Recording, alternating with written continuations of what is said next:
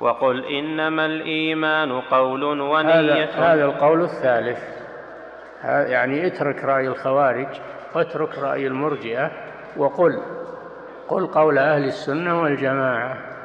الإيمان قول باللسان واعتقاد بالقلب وعمل بالجوارح يزيد بالطاعة وينقص بالمعصية. هذا تعريفه الكامل المأخوذ من الأدلة لا من الأهوى والأفكار مأخوذ من من الأدلة.